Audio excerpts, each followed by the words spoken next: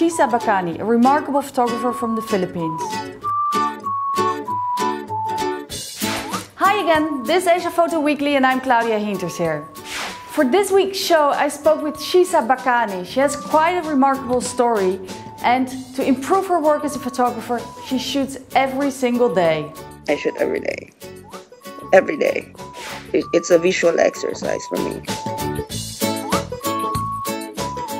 Well, street photography for me, that's my foundation of my documentary works. It's where I started. Street photography is my way of fun. I worked as a domestic worker in Hong Kong for almost a decade and I was doing photography for myself. Then I got discovered in New York Times and then that ball went on and on. And now I'm a photographer. Issues that I care about, you know, migrants issues and refugee issues.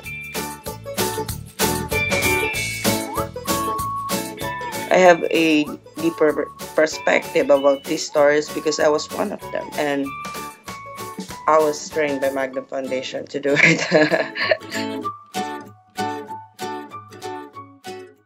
For me, photography is a verb you froze something, but that something should be moving. Okay, voila, that was it again for this week. I hope you enjoyed.